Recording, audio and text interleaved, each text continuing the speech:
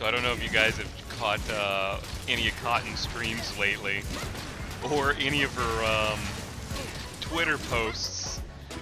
There was a post that said, "What my streams have become," and it was 50% talking to chat, 10% playing games, and then 20% talking or uh, yelling at yelling at animals.